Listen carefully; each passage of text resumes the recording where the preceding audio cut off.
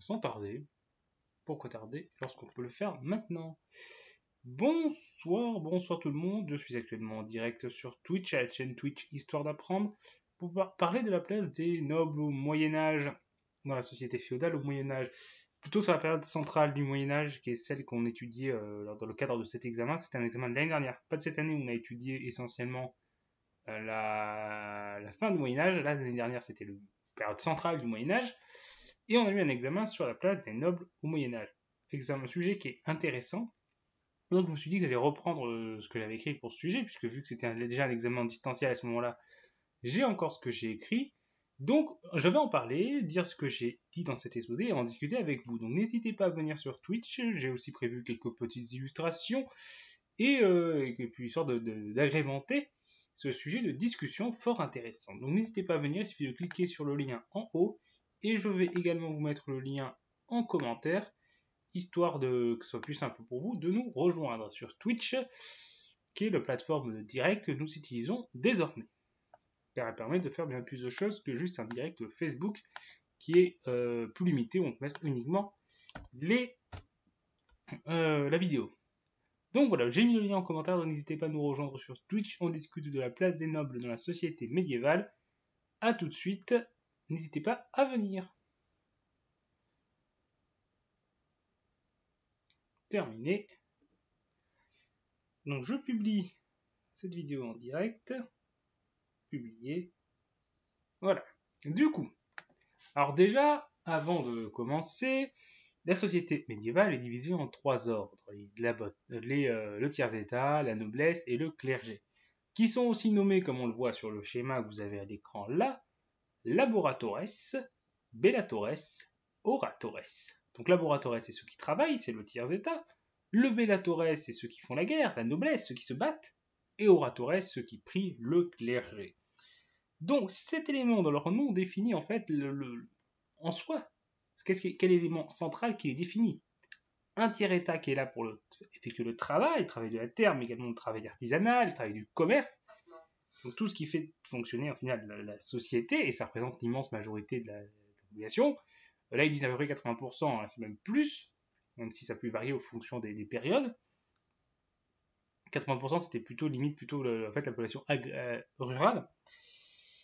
Et du coup, Bellatores, donc c'est le rôle central de la noblesse, c'est se battre. C'est euh, ce qui justifie en fait cette situation de classe dominante. C'est ce qui justifie ses privilèges également. Pourquoi la noblesse ne paye pas d'impôts? Parce qu'elle paye l'impôt du sang, en participant à la guerre. Donc c'est central. Et Oratores, là aussi, ça justifie l'importance et les privilèges du clergé. Il prie. Il prie pour le salut des âmes de tous, il prie pour le, que Dieu soit du côté de l'ensemble du pays, de l'ensemble de, l'entité euh, du corps de la nation. Et donc, ils ont un rôle extrêmement important dans, en tout cas, dans ce que pensent les, gens du Moyen Âge à ce moment-là. Donc, on pourrait résumer à la, place de la, noblesse dans la société, c'est se battre. Bon, c'est vrai, mais ça serait un peu court. On peut développer là-dessus. Et c'est un peu ce que j'essaie de faire dans, cet, dans cet examen. Alors déjà en abordant la question de l'origine de cette noblesse, d'où elle vient, puis en développant du coup quel est son rôle, comment cette noblesse a évolué, quel est le rapport aussi de la noblesse avec les autres ordres, ça aussi c'est important. Oui, elle se bat pour les défendre, mais est-ce qu'il y a autre chose que juste se battre pour les défendre? Et on peut voir qu'il y a des interactions, il y a des tensions, des tensions de domination vis-à-vis du tiers-état qui est soumis à la noblesse normalement, mais également des tensions avec le clergé, parce que le clergé a parfois aussi un rôle de seigneur. Il peut avoir des, euh, des concurrences en termes du pouvoir exercé. Donc là aussi, c'est une question qui est intéressante à étudier. Euh, excusez-moi, je... Donc, nous pouvons commencer. Donc, l'origine de la noblesse. C'est une question qui fait débat chez les historiens, on n'a pas une réponse claire, précise et définitive. Néanmoins, on estime que plusieurs éléments ont contribué à forger cette classe sociale. D'abord, il y a l'influence romaine qui a joué euh, sur les anciens territoires de l'Empire, qui constitue comme une grande partie de l'Europe médiévale. Grande partie de l'Europe médiévale a été dans l'Empire romain, où on a été à ses frontières et influencé. Dans l'Empire romain, il y avait une noblesse, la nobilitas, euh, qui a, été une, forme dominante de la société, qui était euh, des individus des familles les plus importantes, donc il y avait une notion héréditaire dans la nobilitas, même si on pouvait y rentrer en occupant des postes importants, donc c'était pas une classe aussi fermée que pouvait sembler l'être la noblesse, et euh, les fonctions n'étaient pas strictement héréditaires. Appartenir à la nobilitas aidait fortement à obtenir des magistratures, mais il y avait une notion d'élection. Donc ça faisait une différence, mais il y avait quand même cette notion-là de nobilitas. Et on sait que les Francs se sont inspirés du modèle romain, euh, reprenant partie de l'institution. Et, euh, et euh, donc, excusez-moi, j'ai soif.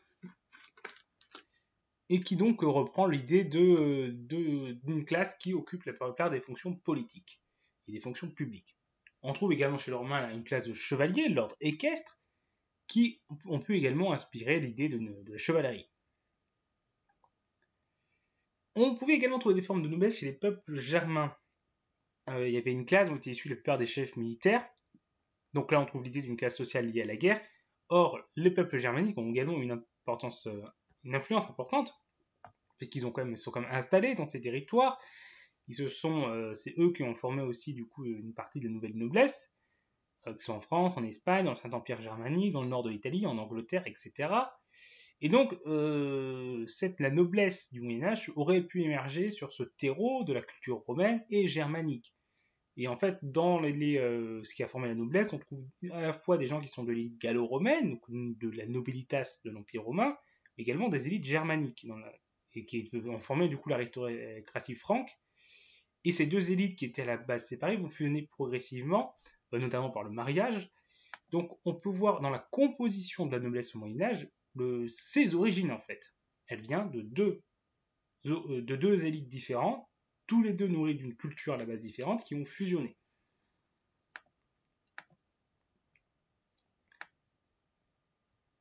Euh, après, comme chez les euh, Romains, c'était pas une fonction strictement héréditaire, c'était c'était pas une garantie, c'était un prérequis. Chez, les Germains, c'est comme un prérequis d'appartenir à cette classe pour euh, devenir un chef militaire, mais ça ne le garantissait pas.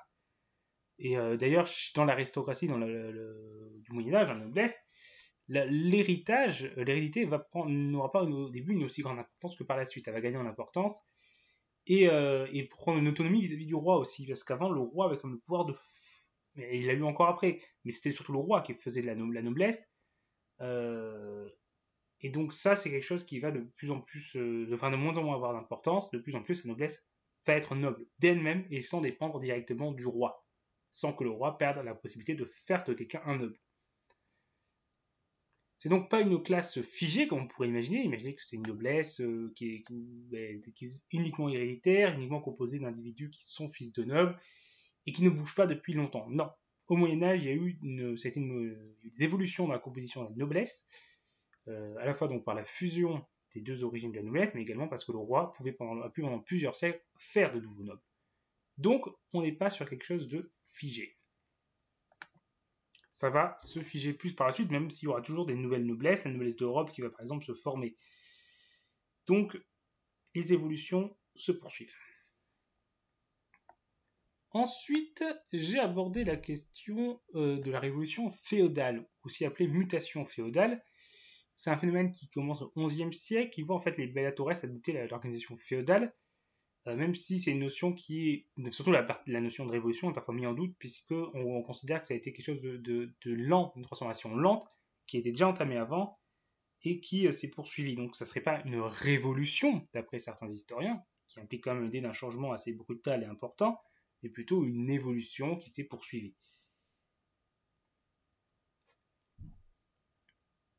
Euh, donc, cette, euh, organisation féodale voit les, relations entre les Bellatores évoluer avec le développement des liens vassaliques, des liens d'homme à homme qui engagent l'un des deux Bellatores à servir l'autre, devant se battre pour lui, l'aider à payer les rançons, payer les départs en croisade. Il doit également le conseiller et s'engage à ne pas lui nuire. En échange, le suzerain a des devoirs vis-à-vis de son vassal. Il doit le protéger, lui donner un fief, un territoire appartenant au seigneur, mais que le vassal peut exploiter et en tirer profit et ainsi en tirer des richesses qui pourront l'aider à soutenir financièrement son seigneur. Donc euh, le soutien financier du vassal est lié au fait que le seigneur lui donne de quoi gagner de l'argent. les seigneurs sur ces terres données du coup à leur vassal a, la propriété imminente, sur les, terres et peuvent les retirer à leur vassal si celui-ci ne respecte pas ses engagements. Donc c'est pas un don total, on donne en quelque sorte un droit d'usage, pas un droit effectif. Euh, salut Laura Morel, pourquoi ça dit par Torres? Parce que ça vient du latin. Et qu'en latin, euh, en latin, ça doit se construire comme ça. je, alors je suis pas doué en latin, mais c'est des mots qui viennent du latin et euh, je suppose que, euh, le Torres peut-être veut dire ceux qui, je, je ne sais pas, est-ce que quelqu'un est bon en latin? Ah, attendez, attendez, attendez. Hop, mon dictionnaire de latin-français que j'ai de mes cours de latin où j'étais pas bon du tout. Hein, je veux le dire tout de suite, j'étais pas bon latin du, du, tout, du tout, du tout. Mais on va voir si je trouve Torres ou un truc qui ressemble dedans. Peut-être que ça donnera une réponse. Alors. TE, TE, Timefactus, Tophosus. On n'a pas commande avec le tofu. Torres. Topé, Torno, Toringi. Euh, alors j'ai pas de, non il y a pas de, j'ai pas de Torres dedans, mais ça doit venir de la construction dans latin du mot. Mais en tout cas voilà c'est, je, si quelqu'un ici est bon en latin, je, suis, je serais ravi qu'il me donne une réponse. Mais là, je, je ne vois pas je ne vois pas. Euh, je range le dictionnaire de latin parce que j'ai ici, j'ai ma petite bibliothèque derrière moi, c'est plutôt pratique. Avec mes ouvrages d'histoire, qui bon, pour l'instant, on n'est pas encore des masses. Mais voilà, c'est toujours pratique de les avoir à portée de main. Du coup, donc en tout cas voilà, c'est euh, en tout cas labor ça c'est le travail, orat euh, c'est la prière et bellat c'est c'est la guerre. Je, regardais un commentaire. J'arrive. Euh, du coup, j'en étais où? Euh, Oui, on voit que ce qui est intéressant, hein, cette, capacité du seigneur de donner un fief à un de ses vassals, ça montre qu'il ne dépend plus vraiment du roi pour avoir sa terre. Que le, seigneur et sa famille sont liés à cette terre, alors qu'avant, euh, l'aristocratie n'était pas liée vraiment à une terre elle, était, elle avait des terres administrées, mais ça pouvait changer. Ça pouvait changer d'un seigneur à son fils, mais même un seigneur durant sa vie pouvait se retrouver à administrer différentes terres. Euh, on a par exemple l'exemple des Robertiens. Alors les Robertiens, j'ai prévu une image pour les Robertiens, je vais vous la mettre. Alors ça, c'est euh, l'arbre généalogique des Robertiens. En fait, Robertien est euh, donc Robert le Fort qui a donné le nom à celui-là, puis Robert II aussi. Et que lorsqu'on regarde qui descend des, euh, Robertiens, c'est Hugues Capet. Hugues Capet qui a été roi de France, fondateur de la dynastie des Capétiens. Donc en fait, les Robertiens, c'est le nom qu'on donne à la dynastie Capétien avant qu'elle devienne roi, avant Capet. C'était des nobles importants, donc de l'époque médiévale, et qui auront donc des fiefs en Belgique, mais qui vont ensuite recevoir les comtés d'Anjou et de Paris, qui n'est pas du tout dans la même région euh, que la Belgique.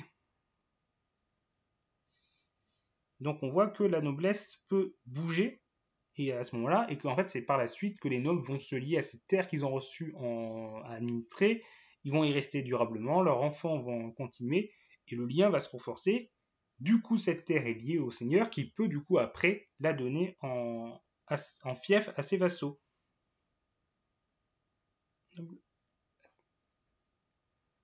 Euh,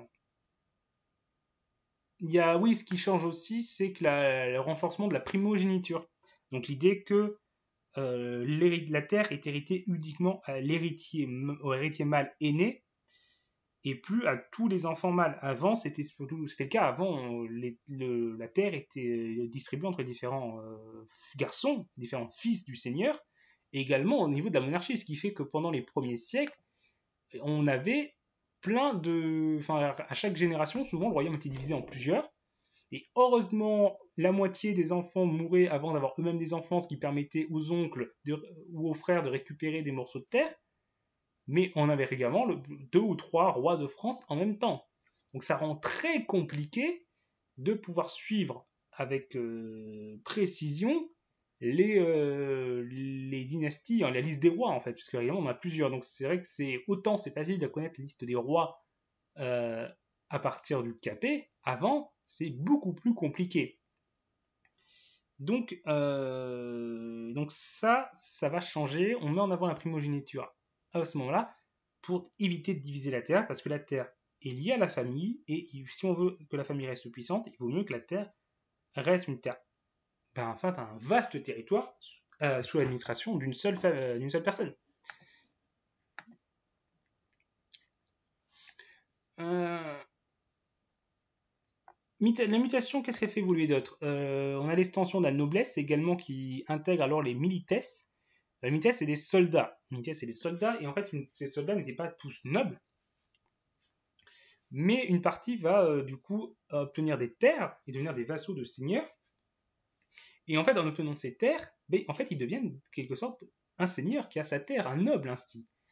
Et il s'incite dans l'élite, et l'aristocratie, euh, la classe des combattants se mêle, ce qui était moins le cas avant, et c'est ainsi que cette classe aristocratique devient vraiment Bellatores. Ces Bellatores vont également marquer euh, la terre par la construction de châteaux, de places fortifiées. Ce qui est logique de la part d'une classe dont la, fonction est de se battre. Et là, on va basculer. Euh, alors, il faut le temps que ça recharge, mais je vais vous montrer. Euh, j'ai utilisé Google, enfin Ecosia Images pour vous montrer les développements des, des châteaux. Alors d'abord, c'était des modes féodales. Nouvelle image. Donc les modes féodales, ça ressemblait plutôt à ça à la base. C'était des fortifications en bois sur des buts, si ça veut bien charger, voilà. Donc c'était des petites, des petites fortifications en bois sur une hauteur où c'était plutôt protégé par le fait que c'était en hauteur, mais c'était pas, voilà, ça brûlait facilement. Et les modes en, enfin les, les en pierre vont arriver plus tard. Là c'est plus solide, mais ça n'arrive que par la suite. Mais en tout cas, c'est cette période-là qui voit le, lien entre la noblesse et le château, parce qu'on a souvent, on imagine le noble dans son château, là où il réside, c'était moins le cas avant. Mais maintenant qu'il est lié à une terre qu'il doit défendre aussi, mais le noble doit avoir son château, sa place fortifiée. Une place fortifiée qui l'ancre dans sa terre et également représente sa domination, parce que c'est un bâtiment visible souvent, il est en hauteur pour l'aspect défensif, mais également parce que ça permet de protéger, euh, ça permet d'être vu de plus loin et donc de montrer aux gens qui habitent, c'est cet endroit appartient à un seigneur. Si tu vois le château, c'est que tu appartiens à ce seigneur-là. Salut Koubi, bonsoir, bonsoir à toi, j'espère que tu vas bien.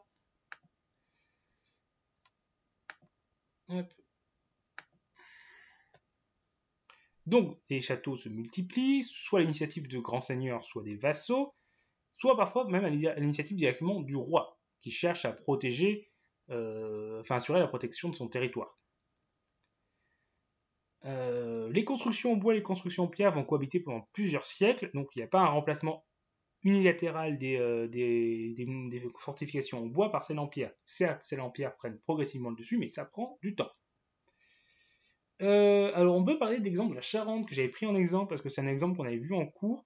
la Charente à l'époque fait partie du duché d'Aquitaine, c'est l'un des puissants du royaume et dispose d'une certaine autonomie vis-à-vis du royaume de France. Avant le phénomène de castralisation, euh, donc au Xe siècle, on a 12 forteresses dans le territoire. C'est peu. Euh, elles avaient toutes été construites à l'initiative du duc, mais avec la castralisation, elles vont se multiplier. Et avec des vassaux qui sont de plus en plus à initiative. Ainsi, jusqu'à 1100, on a une soixantaine de châteaux donc construits entre 1000 et 1100, 60% au début de la période, euh, enfin entre 60 et 75% donc ça augmente progressivement, au début c'est 60% et à la fin c'est 75%, sont à l'initiative des vassaux du duc d'Aquitaine, et les autres sont à l'initiative du duc d'Aquitaine. À partir du XIIe siècle, la construction de nouveaux châteaux se poursuit, mais cette fois c'est plutôt à l'initiative du duc, puisque les trois quarts des nouvelles constructions, donc au lieu de 40, entre 25 et 40% avant, le siècle suivant, on est maintenant à, une, à 75% d'initiatives qui sont euh, dues au duc. Donc on voit qu'il reprend en main euh, la construction des châteaux. Il y en a un, à York encore de mode féodal. Ah, ben, écoute, on va voir, euh, on va voir ça. Je pense que je, pense que si on on va avoir une image. Euh, York, la tour Clifford est sauvée. Oui, bah oui, ça c'est complètement ça. C'est euh, pas une en mais c'est une en pierre, du coup, qui est construite sur une motte et qui du coup euh, la tour Clifford. On va voir, euh, on va faire un petit tour par la tour Clifford.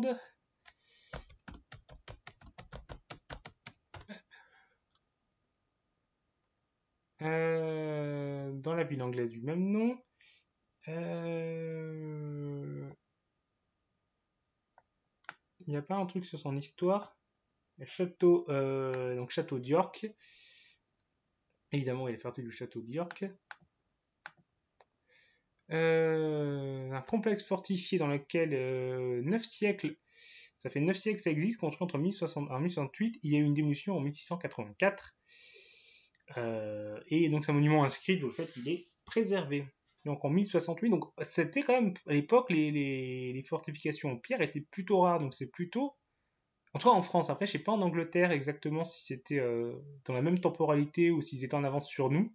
J'avoue que ça, je ne sais pas. La médiévale n'est pas la période que je maîtrise le mieux.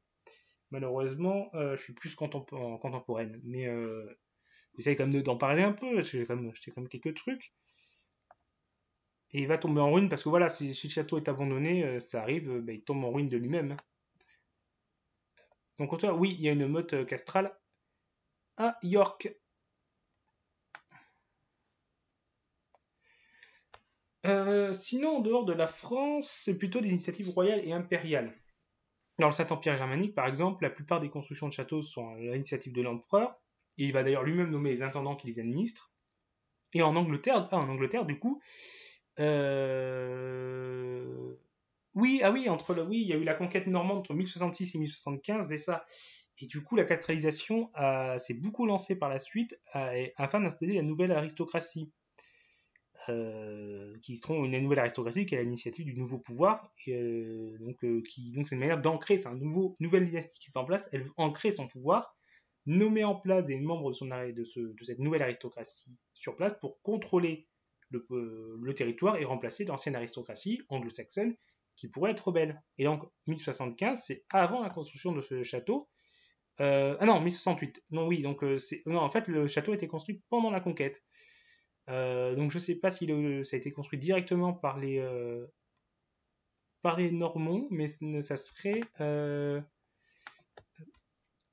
capitale du royaume viking. Dans sa première expédition le roi Guillaume. Voilà, c'est ça. Donc c'est sa première expédition, il conquiert York et fait installer un château. Donc on est complètement dans la série de, construction de châteaux du la conquête de Guillaume le Conquérant. Donc, tout cela est tout à fait cohérent. Donc, chapitre, enfin chapitre sous-partie suivante, cette classe s'est structurée et donc maintenant se voit confier des fonctions qui vont elles aussi se stabiliser, maintenant que la classe est structurée et stabilisée. Évidemment, le combat, c'est la principale. Se battre pour le roi lorsqu'il convoque Lost pour défendre le royaume lorsqu'il est menacé, c'est une fonction qui développe à partir du 8e siècle, avec les progrès de la métallurgie, ont permis le développement d'un équipement de meilleure qualité, mais plus cher. Ce qui fait qu'il y a une professionnalisation de l'armée. Avant, on pouvait plus facilement recruter n'importe qui, euh, voilà. L'équipement militaire était basique. Maintenant, un chevalier avec une grosse armure, une grosse épée et tout, ça vaut largement plus qu'un groupe de, paysans armés de, pas grand-chose. Donc l'armée, le combat, ça devient l'apanage d'une élite. La chevalerie, alors, le fantassin n'a pas disparu, il continue d'exister, mais il a un rôle plus secondaire durant cette période. Et ce n'est qu'au XIVe siècle, avec le développement des armes à feu, que le rôle du fantassin va regagner en importance, puisque t'as beau avoir une belle armure, si tu prends une balle, tu prends cher.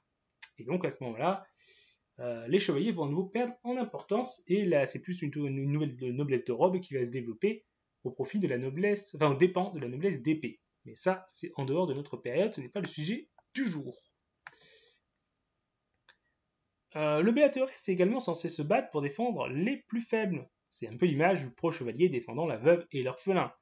Il doit également défendre les biens de l'Église, dont les membres ne sont pas censés se battre, Et euh, celui-là le défend, en fait, c'est les faibles et l'église du banditisme, qui n'est pas une chose rare à l'époque. Et quand tu es sans défense, tu pouvais facilement te retrouver exposé au vol, pillage, voire pire. Euh, et donc, en fait, c'est euh, ce rôle-là qui justifie leurs privilèges, les extensions d'impôts, ça on l'a dit d'avant, y payer l'impôt du sang. Euh, il peut aussi, du coup, lever des impôts sur les paysans, rendre la justice, faire travailler les serfs, et les paysans libres doivent la corver sur le domaine personnel de leur seigneur. donc ça, le, domaine personnel du seigneur, c'est la réserve. Donc, on voit qu'il a de nombreux avantages grâce à ça. Les bellatores sont également livrés à de nombreux combats entre eux, soit entre les, dans les guerres entre seigneurs, euh, qui sont courantes durant cette période de France, euh, souvent avec objectif d'étendre le domaine du seigneur et donc d'acquérir plus de pouvoir et de richesse. Mais euh, c'est également des moyens de renforcer l'honneur du bellatores, du combattant, par la guerre. La guerre est une source d'honneur très importante. ça peut être aussi un moyen de réparer un affront subi, parce que c'est très important de réparer les affronts subis. On est dans une société d'honneur à l'époque. Et euh, l'aspect de gloire au combat, donc se retrouve dans les guerres, mais également dans les tournois, dans lesquels les nobles s'affrontent. Donc la noblesse, pour elle, le combat, c'est central. Ça assure sa légitimité, et c'est quelque chose qui, en fait, constitue une grande partie de son quotidien durant cette période. les bellatores ont également un, un rôle du coup d'administration et de gestion du domaine il faut entretenir les infrastructures, par exemple. Si les fours, par exemple, les moulins, les pressoirs, les puits, tout ça, ça appartient au seigneur, le paysan paye quelque chose pour l'utiliser, les taxes pour l'utiliser, mais le seigneur, lui, doit l'entretenir. Il doit assurer le bon fonctionnement. Il peut également euh, se retrouver à assurer l'entretien de certaines routes, et euh, globalement assurer le bon fonctionnement de, euh, la seigneurie avec toutes les infrastructures qui le demandent y compris les, fortifications qui doivent non seulement protéger lui, mais qui doivent également permettre de protéger la population qu'il a sous sa responsabilité en cas de conflit. Et donc non seulement du coup se battre pour protéger les gens, mais les abriter dans ses châteaux. Ensuite, il y a la justice, qui est certes un pouvoir important, mais c'est aussi bah, un devoir, un devoir nécessaire au bon fonctionnement de la société. Euh, on est surtout à une époque où la justice royale est peu développée. Donc souvent, la seule justice pour les affaires du quotidien, c'est la justice du Seigneur. Donc soit on laisse les gens régler leurs problèmes par eux-mêmes, et bon, bah, souvent ça finit par un coup de but bêche dans la, figure, ou un coup de couteau, soit ben, il doit avoir une justice qui doit s'en occuper, donc c'est le rôle du Seigneur d'assurer cette justice du quotidien. Euh, néanmoins, entre le Xe et le XIIIe siècle, les Capétiens vont renforcer la le pouvoir royal, la justice royale, avec par exemple les, les, prévôts et les baillis royaux, qui sont nommés par le roi, mais ça reste insuffisant pour se passer de la justice seigneurale pour tout le royaume. Ils ont également le devoir de, surveiller la population, surveiller le respect des lois royales, donc ces rôles tiennent un rôle de police en plus de juge. Donc c'est non seulement des combattants, mais c'est également des administrateurs. Et c'est cette fonction-là d'administrateur qui deviendra de plus en plus centrale lorsque l'importance du combat euh, pour les nobles va diminuer du coup par la suite. Les nobles ont aussi une fonction de conseiller. Le noble doit conseiller le roi. Ça, c'est quelque chose de très important. Euh, le, roi ne gouverne pas seul. Il s'entoure de conseillers qui sont issus de la noblesse et du clergé essentiellement. Euh, donc ça l'aide à... Une grande partie de la cour est constituée d'aristocrates. Euh, les différents mm, responsables administrateurs du royaume nommés par le roi, du coup, comme on l'a vu, on l'avait vu plus tôt, étaient euh, issus de la noblesse. Euh, et, même en étant plus loin de la cour, en étant maintenant installés dans leur domaine, on voit encore des, euh, nobles être des conseillers du roi, et eux-mêmes se, ils, composent la majorité du conseil du roi, et eux-mêmes se voient comme les conseillers naturels du roi. Donc même, même si le conseil du roi est aussi composé de, clercs et que la, composition de ce conseil peut évoluer beaucoup en fonction des périodes, en fonction des souverains, chaque souverain était en soi libre de composer son conseil du roi. Et en soi, il aurait très bien pu faire un conseil du roi euh, sans noble, mais ça aurait été quelque chose qui aurait été très mal vu. Et globalement, euh, il ne le faisait pas parce que c'était pas considéré comme ce qui se faisait en fait pour la bonne gestion du royaume tout ce qui est administration, l'administration aussi au-delà du conseil, tout ce qui est, tout ce qui est administration qui se développe durant cette période-là, C'est vrai qu'au début du Moyen Âge, enfin pour une grande partie du Moyen Âge, tout ce qui est administration royale est très peu développé. C'est quelque chose qui se renforce et ça va être composé de nobles. Les baillis les prévôts, on a parlé, c'était souvent des nobles qui, étaient, euh, qui étaient à ces fonctions-là et pas de tiers états. Euh, et, là aussi, c'est en lien avec la mutation féodale. Comme on l'a dit, la mutation féodale, c'est une organisation de la société où un vassal prête serment à son suzerain. Les nobles prêtaient serment au roi également. Quasiment tous les nobles avaient prêté serment au roi. Comme n'importe quel vassal à son suzerain, du coup, ils devaient conseil. Donc, non seulement ils avaient des rôles importants localement, dans l'administration locale du royaume, mais même au niveau national, ils avaient un rôle extrêmement important. Mais du coup, la noblesse a des rôles importants, mais également en conflit avec d'autres pôles de la société. Et parce que, parce que, pour diverses raisons, ces pôles de la société peuvent avoir des intérêts divergents avec ceux de la noblesse, euh, et parfois se retrouver en conflit avec eux. La première opposition porte euh, sur la nature combattante des Bellatores avec le clergé. En fait, le clergé est opposé à la violence. Et si la défense, l'aspect défense est plus faible et du clergé est accepté, par contre, l'aspect, par exemple, des nobles qui se battent entre eux, ça, par contre, c'est beaucoup moins accepté. C'est vu quand même beaucoup plus comme une, violence qui n'a pas vraiment de sens ni de but utile pour la société et juste, faites la violence, quoi. Donc, c'est vu comme quelque chose de mal pour le clergé. Ainsi, l'Église va tenter durant cette période de mener la politique de la paix de Dieu afin d'empêcher les seigneurs de mener des guerres privées. Euh, Xe siècle, par exemple, il y aura les convocations des premières assemblées de paix qui vont se réunir à l'initiative du clergé. Souvent, c'est les évêques qui convoquent ça. Euh, ça lieu surtout dans le sud du royaume. Euh, ça réunit donc les clercs, mais ils invitent les nobles et des membres du tiers-état afin de prôner la paix. Elles vont avoir lieu de plus, avec de plus en plus d'importance. Il y a également les conciles de paix. Le premier a lieu en 1989. Et plusieurs autres vont avoir lieu dans les années suivantes. Là aussi d'abord dans le sud du royaume et vont s'étendre à tout le royaume, par exemple en Bourgogne.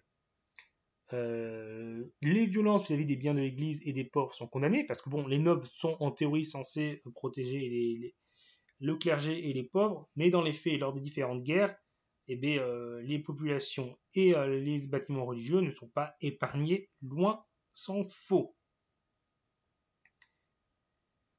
Donc ça, c'est dénoncé. Ils essayent aussi d'interdire les conflits, mais bon, dans les faits, ils ne peuvent pas mais euh, ils vont essayer d'interdire euh, durant certaines périodes euh, les conflits. ils vont demander aux seigneurs de prêter des serments pour respecter ces consignes-là et attaquer en justice les seigneurs qui ne respecteraient pas la paix de Dieu. Il y a des sanctions spirituelles qui, sont qui peuvent être émises et il y a des, nobles qui peuvent être excommuniés, donc c'est pas, pas rien. Et parfois, il peut y avoir même des armées de paix. Paraît contradictoire.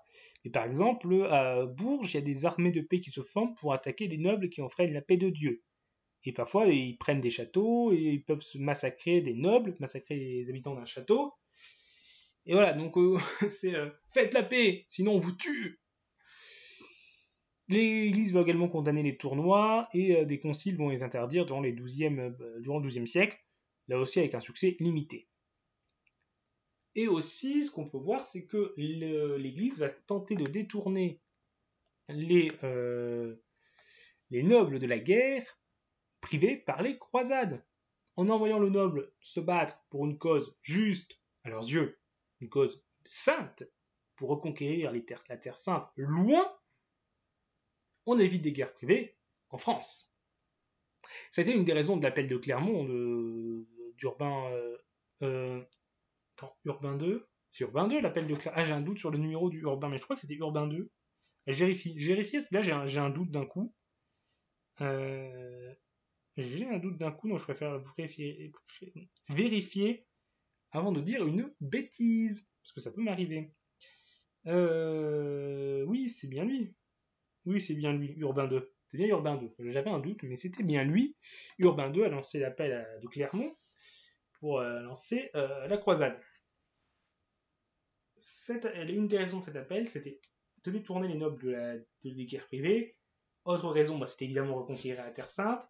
Se placer en protecteur de toute la chrétienté en appelant à défendre les critères d'Orient et que ce soit les chrétiens d'Orient vivants en Terre Sainte et les Byzantins qui sont en difficulté face aux musulmans. Et également, du coup, et se placer en, chef en fait de cette croisade, puisque s'il y avait un légat du pape qui devait la diriger. Mais bref, c'est le sujet de l'appel de Clermont, c'est pas le sujet de ce soir. Hum, qu'est-ce qu'on peut voir? On peut voir aussi qu'il y avait une concurrence politique entre la noblesse et le, euh, clergé, puisque euh, déjà le clergé constitue une partie des conseils du roi également, donc il peut y avoir un conflit entre, dans l'administration et dans les conseils du roi entre les nobles et clergés, savoir qui va être le plus important comme conseiller du roi. Autre aspect, c'est aussi que certains grands seigneurs vont vouloir nommer les ecclésiastiques. C'est intéressant pour un noble, de, un grand noble, un prince, de nommer les ecclésiastiques, parce que autant ses vassaux, certes, il peut leur retirer des terres s'ils ne respectent pas leur serment, mais dans les faits, les terres qu'il leur a données, c'est héréditaire. Et donc il a certes un contrôle sur eux, mais pas total. Alors que l'évêque, s'il l'a nommé, c'est pas héréditaire. Déjà parce que l'évêque n'a pas d'enfant normalement. Mais du coup, ça veut dire qu'une fois que l'évêque est plus là, il peut nommer, c'est lui qui choisit qui est nommé à la place. Donc ça lui donne un contrôle bien plus fort sur ces personnes-là, qui sont aussi des personnes importantes pour contrôler le territoire. Donc il y a des grands princes qui vont tenter de nommer eux-mêmes euh, aux charges ecclésiastiques, ce que le pape ne veut pas. Le pape, il considère que c'est lui qui doit nommer aux charges ecclésiastiques, et pas les princes. Donc il va y avoir des conflits de légitimité sur cette question-là, et des conflits très importants.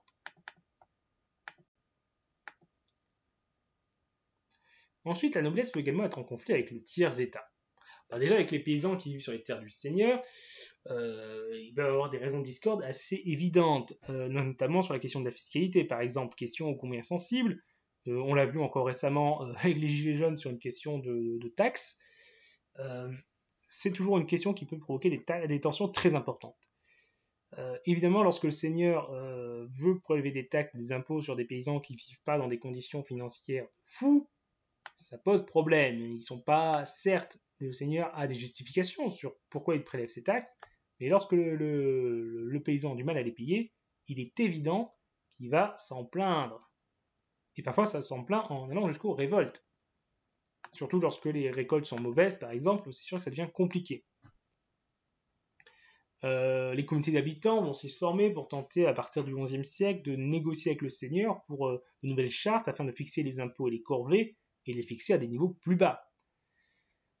Euh, les seigneurs seront souvent contraints de faire des concessions durant cette période, puisque puisqu'en fait, c'est une période où on a des, défrichements de terres et de, forêts et de, nouvelles terres où les gens s'installent. Et du coup, il y a des, si un seigneur est trop dur avec ses habitants, ils peuvent aller s'installer dans de nouvelles terres qui ont été défrichées chez un autre seigneur. Donc, euh, et de même, certains seigneurs veulent attirer des personnes sur leurs nouvelles terres qui défrichent et en échange donner des conditions avantageuses en matière de fiscalité.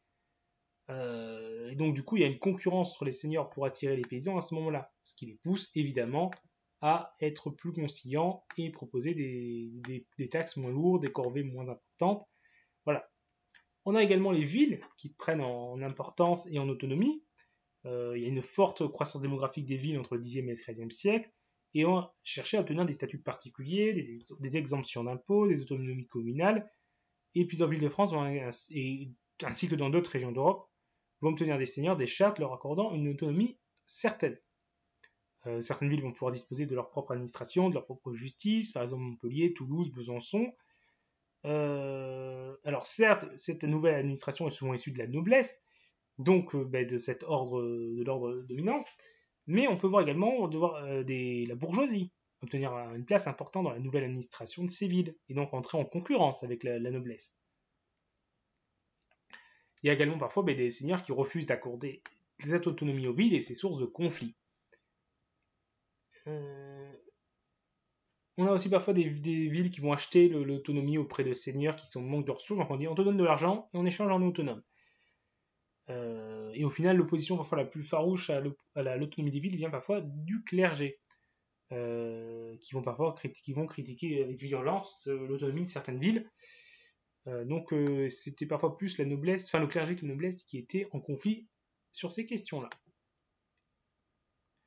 Ensuite, les conflits entre les Béatores et le roi.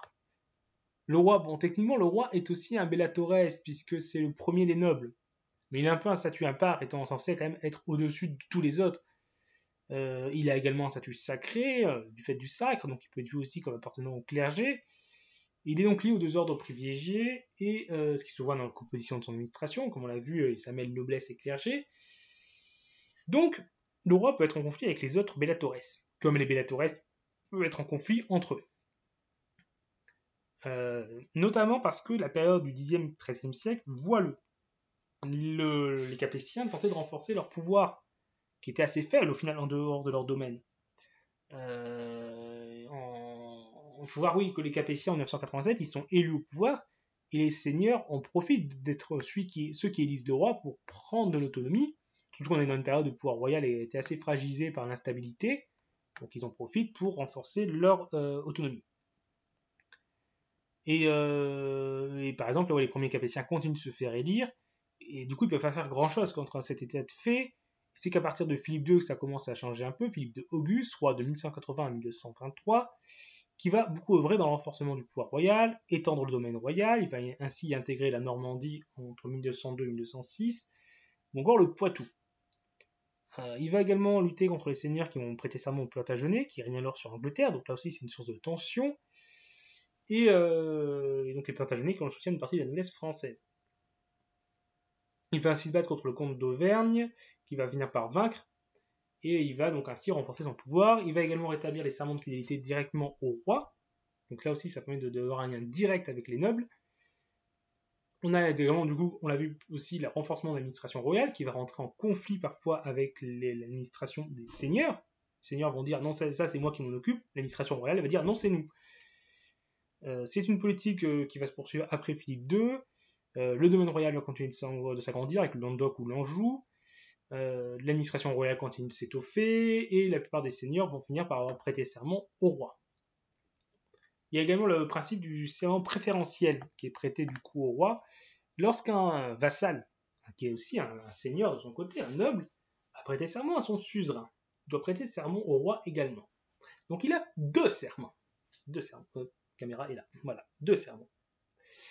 Euh, la question est si ces deux serments rentrent en contradiction, si son seigneur et le roi sont en conflit, qui c'est qui doit suivre En théorie, du coup, soit aucun des deux, soit il doit choisir entre les deux. Avec le serment préférentiel, le roi s'assure que c'est lui qui est préféré. C'est lui qui passe avant. Donc ça, c'est utile quand même d'imposer ça. Mais de leur côté, ben, les seigneurs sont quand même attachés à plus d'autonomie. Euh, ils, veulent, garder un certain pouvoir et donc il y a un conflit sur cette question-là durant cette période entre les Bellatores et le pouvoir monarchique. Donc voilà, c'est un peu le. J'ai fait le tour de, du sujet euh, de ce que j'avais parlé en examen.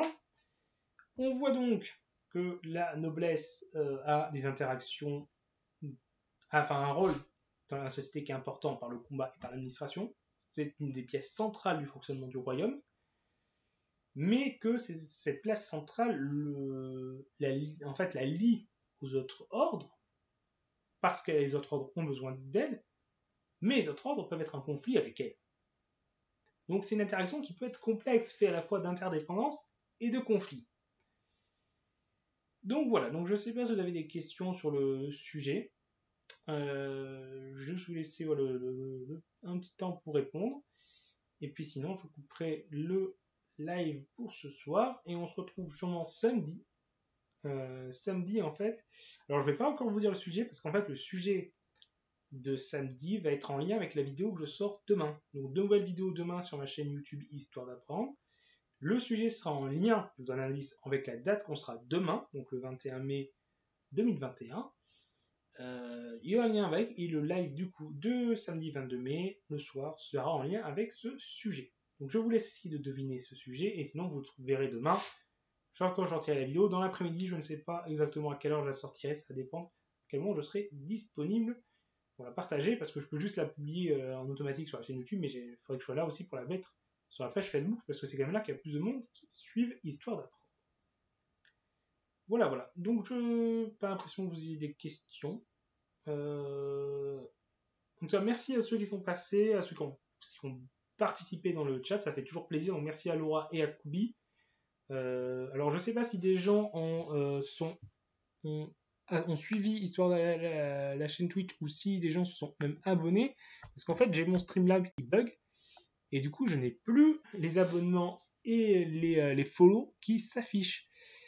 Et d'ailleurs, même les abonnements, je crois qu'ils ne s'affichent même plus dans mon gestionnaire de stream directement sur Twitch. Parce que dans mes statistiques, j'en ai eu un. J'ai vu euh, ben, le fait que quelqu'un s'était abonné et du coup, j'avais reçu l'argent.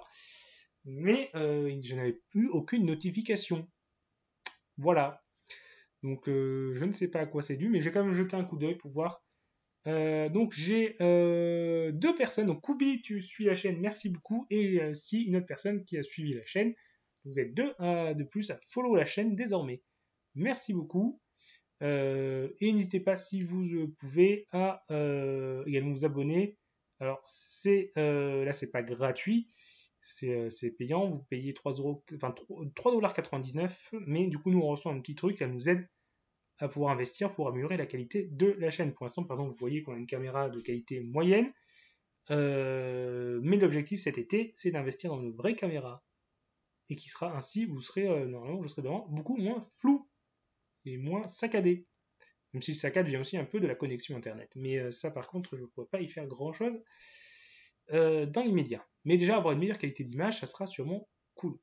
Ils auront tout une caméra qui serait adaptée à ça. Donc, je vous souhaite une bonne soirée. Donc, on se retrouve ben, demain déjà, on se retrouve sur YouTube, la chaîne YouTube Histoire d'apprendre avec donc une nouvelle vidéo et on se retrouve euh, samedi soir en live à peu près le même horaire.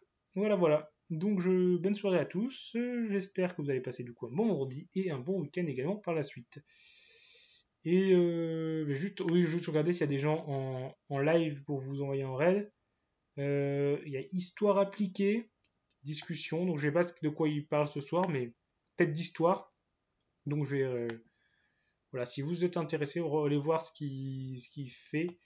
Euh, et bonne soirée à tous.